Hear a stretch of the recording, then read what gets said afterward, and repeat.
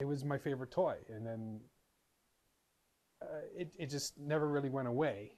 To say 42 year old Aaron Chapman loves Lego would be an understatement. Not including all the Lego for my kids that I have just recently appropriated now, I would estimate with their Lego and combined now, it's almost 200,000. Aaron has put in almost 15 years and countless hours towards his Lego building hobby. I don't. You lose track of time. I will come down here and start building Lego, and if I don't have a new kit to build, I will pick a kit and disassemble it and reassemble it. But it, it's something about it. Just the the collection of the bricks, the the cataloging the bricks. It just is something that I like. I don't. I can't explain it. When he's not fingers deep in Lego, you'll find him driving a red rocket. His TTC colleagues are aware of his Lego loving leisure activity. Uh, what a lot of people say when they look at the wow.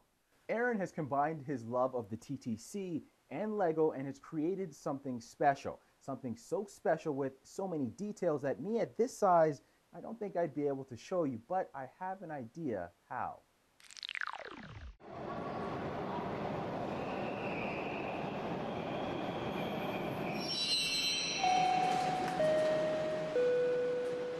Hey Brandon, come on aboard. So your wife bought you the original train kit, and you were inspired to build a TTC uh, subway car from scratch. Oh yeah, and I'm up until this. I've always followed the instructions. Sorry, excuse me. You put in three months and hundreds of hours of time. Tell me about some of the features. The first one, the most obvious on the outside would be the emergency exit. The inside of the cab, which I find the coolest part, um, I actually set up the it's called the master controller, priority seating with the, the blue and the um, blue light on the side of the train. The coolest feature I've added to the train, have I figured out how to. Nice. I've never dreamed of making my own kit. Aaron is hoping to get his Lego Red Rocket on a shelf near you. He's entered a competition where enthusiasts hope to get 10,000 votes so that Lego will take a look at their proposal. You can find a link to that page on our website, citynews.ca/extras.